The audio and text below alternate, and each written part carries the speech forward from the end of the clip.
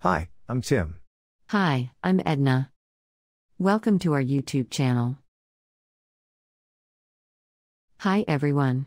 Thank you for taking the time to watch this video.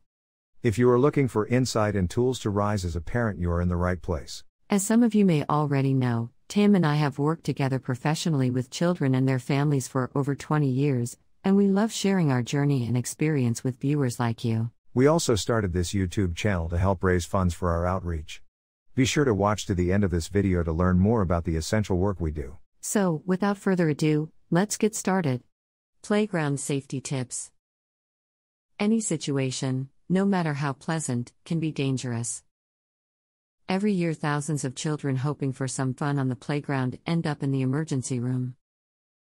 But you can keep the playground safe by looking for obvious signs of danger. Here are seven things you should be doing while your child is on the playground.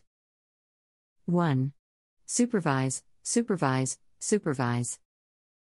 It is your responsibility to watch for playground dangers that can come up in a split second. So be sure to have your eyes on your child at all times. Be sure to move around the playground with your child and look for signs of trouble.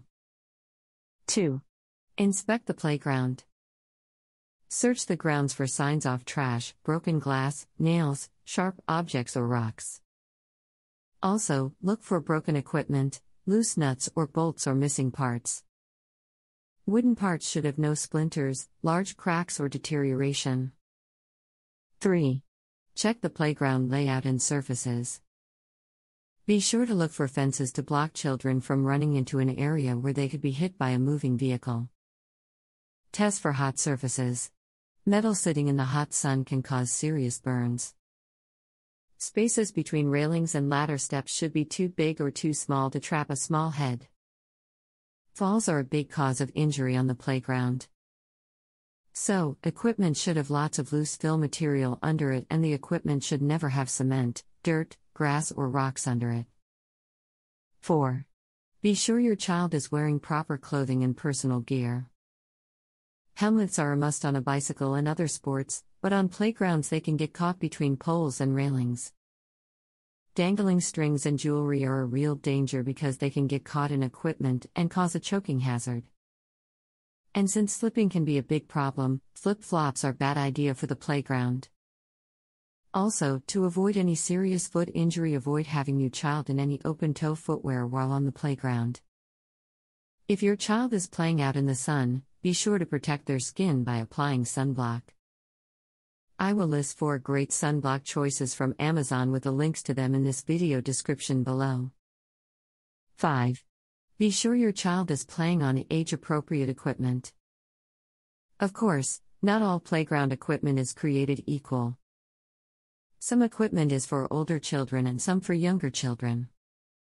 Do not allow your child to play on any playground equipment that is not age appropriate for them. 6. Be aware of playground behavior. Good playgrounds stretch the imagination. They are a place for your child to have great adventures and share them with their peers. But getting along and playing well with others can be difficult for some children. Pushing, hitting, and throwing ground covering can become a playground issue. It is always best to distance your child from that kind of behavior. 7. Beware of any stranger danger. I cannot emphasize this one enough. Always be aware of the people around your child. Look out for adults at the playground that do not have children with them. Pay special attention to those adults and always keep your child a good distance away from them. You're responsible for your child's safety as well as your own. You have the power to prevent your child from being in danger. You can make every place a safer place for you and your child by recognizing dangers and avoiding them. This concludes playground safety tips. Be safe out there. We hope you found this video helpful. Please subscribe for more insightful parenting videos. And remember, to be the parents we want to be for our children, we as parents must love, learn, and rise. Tim and I started this YouTube channel for two reasons. First and foremost, to support parents by sharing our vast knowledge of caring for children. And second, to help fund our charity, selflessoutreach.org. We are an independent outreach and we do not receive any state or federal funding. We rely on our own personal income and fundraising efforts. So, what does Selfless Outreach do? We deliver free food and free basic living supplies to the underserved.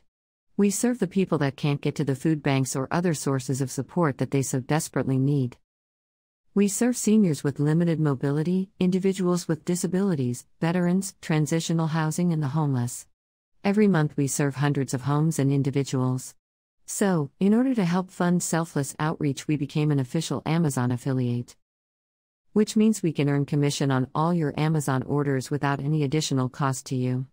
All the Amazon links in this video description will bring you straight to the official Amazon website and will never increase the price of the product you choose. Just click on the Amazon product you choose from this video description and add it to your Amazon shopping cart just before you proceed to checkout.